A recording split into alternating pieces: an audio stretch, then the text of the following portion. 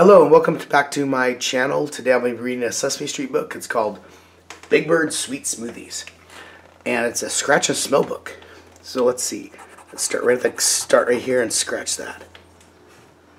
Ooh, it smells like pineapple. Big Bird Sweet Smoothies. Big smoothies for little monsters. We have mango, banana, strawberry, grape, blueberry, peach, and pineapple. Welcome to Big Bird Sweet Smoothies. Big Bird called to his friends. Come and get them. Let's see, scratch right there. Ooh, mango.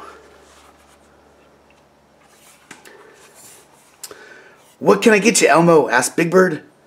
Elmo loves peach smoothies.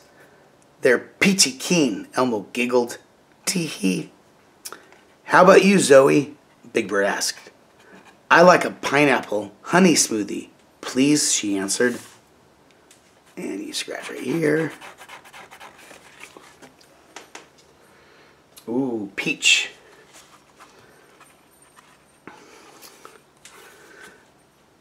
I want one wonderful grape smoothie with one, two, three, four, five, five big grapes, counted the count. Oscar wants something that isn't on the menu at all. Give me a smelly sock smoothie, he grumbled. Me want yummy banana smoothie, added Cookie Monster, coming up behind him. Big Bird laughed.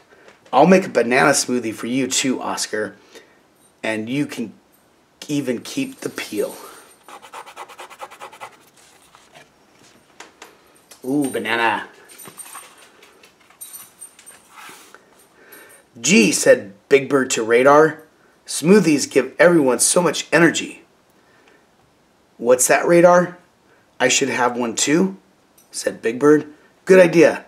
Strawberry's my favorite. Ooh, and that does smell like a good strawberry. So that was uh, Sesame Street's book, Big Bird's Sweet Smoothies. Um, and again, it was a scratch and smell book. And believe me, when you scratch, it does give off very, very good smells of, of each of the fruits. So thank you for watching, and I hope you like the video and uh, uh, subscribe to the channel.